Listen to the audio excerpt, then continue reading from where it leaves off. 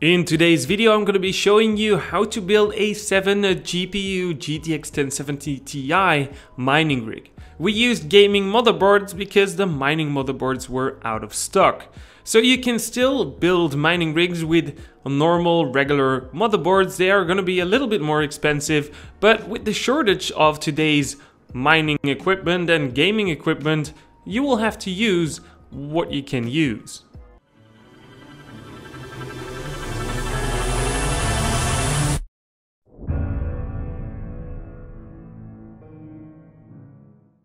Okay, so first of all, what can you expect from this video?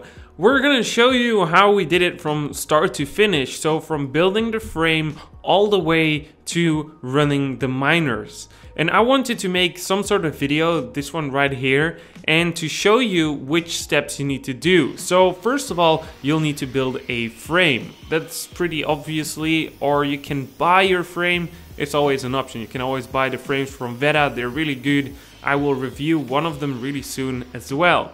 But building your own frame is gonna save you some costs and whatsoever. So it's a really good thing to build your own frame at the first start. But if you're really going for simplicity or you're gonna build a really big farm, I would recommend buying pre-made frames because it took a really long time to build these frames. But I will link a video over here for people that really want to know the measurements of the frame. I will make more videos that are gonna show you more specific parts of the video. So I'm gonna just go over it really quickly. But if you want to know more about it, I will put the videos next to it. So you can check out that video and it's gonna explain you really in depth of what this step actually is. But if you're like, okay, I really get it already, uh, you don't have to watch that video because it's for more specific instructions and whatsoever. So as you've seen like 30 seconds ago already or a few minutes, we cutted all the aluminum pieces with a normal saw. It's really important to have enough teeth on the saw because otherwise it's gonna get some really bad and nasty chunks out of the aluminum and it might shatter in million pieces.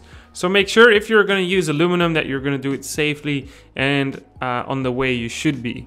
Also, we started filing it down because it was really sharp and uh, we didn't want anyone to cut his fingers on anything on this aluminum. And it's also more easy to slide in the pieces, the plastic pieces for connecting all the aluminum tubes together. So for the people that want to see the complete assembly of this mining rig frame that we've built to get kind of an idea of how it all works, here it goes. But for people that just bought the frame from Veddha or whatsoever, Uh, well, you can skip ahead on the video.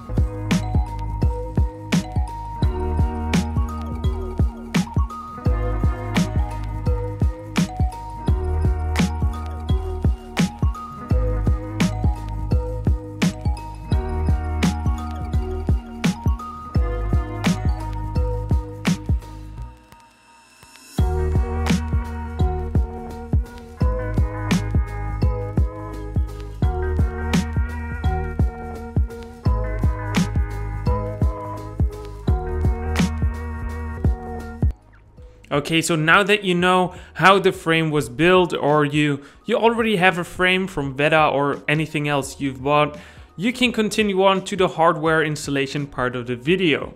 So for people that don't know how to install a CPU or a RAM on their motherboard for example, I will make another in-depth video about it if you really want to.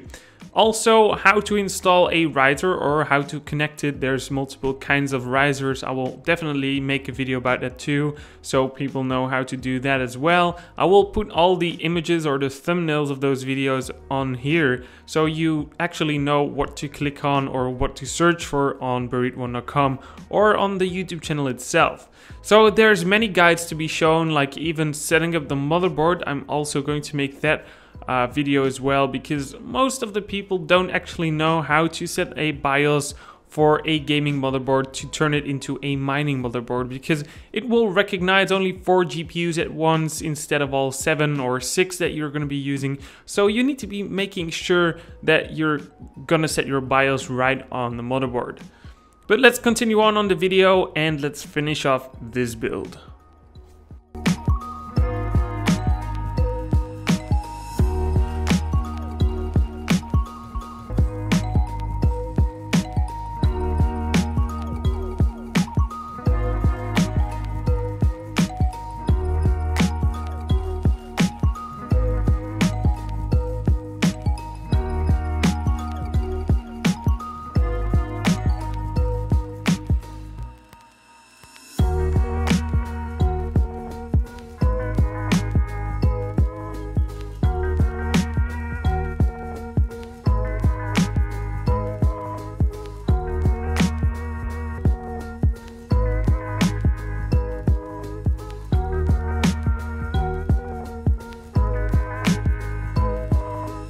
Okay, so as you can see, we only stuck 7 GPUs onto this frame. There is still one slot left over for another GPU. It's really simple, you can buy this little thingy from Amazon or anywhere you can find it and you can use this M2 slot to increase it to another PCIe slot on your motherboard. So this little pricey thingy will increase your PCIe slot up to 8 so that is the reason why we increased it on the frame to hold 8 GPUs at once. But keep in mind, adding one extra GPU will also increase the usage of power on your system. So make sure you cover that as well when you're gonna upgrade onto more GPUs than you designed it for. Okay, so last but not least, there's another part that is going to split up onto different kinds of builds. If you, for example, build a 12 GPU AMD mining rig with Vegas or RX 570s, 580s, whatsoever you use on AMD graphics cards, you'll need to follow this video over here. And if you are going to install NVIDIA graphics cards, 8 or 10 of them or even 12 of these, you will have to follow the NVIDIA install video. If you see these videos pop up on this on, on this video, this is videoception. Pretty interesting, but if you see this video pop up and you think, hey, well, what is he doing? He's going so quickly. Well, I assume that you already installed your Windows operating system or Linux or anything else you used, but this is only for Windows that I'm going to show you in these videos. We're to do some different kinds of videos as well for different kinds of operating systems because soon enough we're to start building some farms really big farms, and that's gonna get some custom operating systems because you cannot run 2000 Windows computers on a single system. You'll need to have some custom software for that. So this is only to guide you for limited use, let's say. So this is only for for getting you 5 or 10 mining rigs at your house and it's still manageable, but if you go over 100 Windows systems are going to get a little bit, bit of a problem.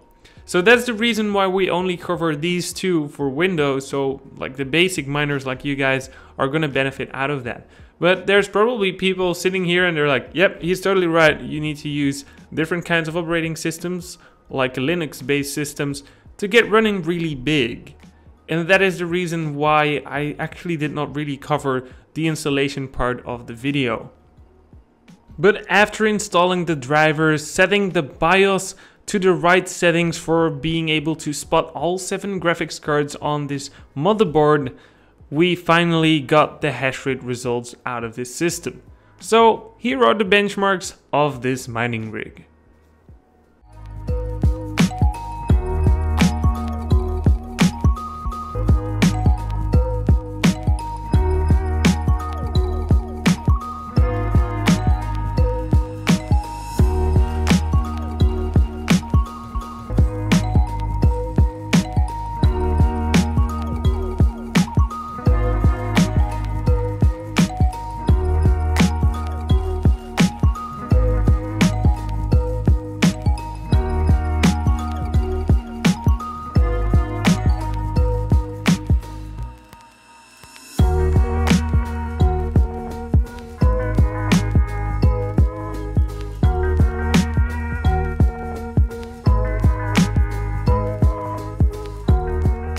Okay, so hopefully you you understand what today's video was about. It's going to be the giant puzzle where all the little puzzle pieces can be found on different kinds of videos. But of course, today you're not going to be able to click on these videos or find them anywhere on the channel until I release them. So this is going to be for later use for people that are new to the channel and so on. So as you can see, we're going to build even more mining rigs and the next one is going to be a GTX 1080 Ti 6 GPU mining rig. This one is quite expensive and we're going to see if it's actually worth it to buy such an expensive mining rig.